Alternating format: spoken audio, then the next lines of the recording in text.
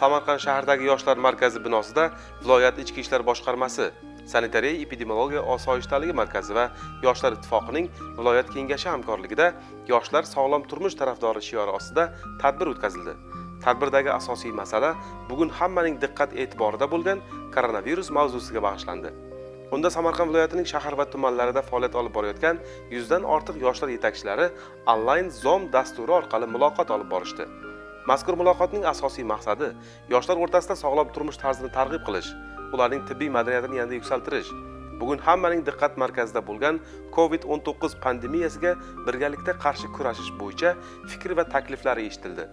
So'zga chiqqan samarqand viloyati ichki ishlar boshqarmasi mas'ul xodimlari viloyatda xizmat olib borayotgan ichki ishlar xodimlari tomonidan mazkur masala yuzasidan o'tkazilayotgan profilaktik tadbirlari xususida to'xtalib o'tdi.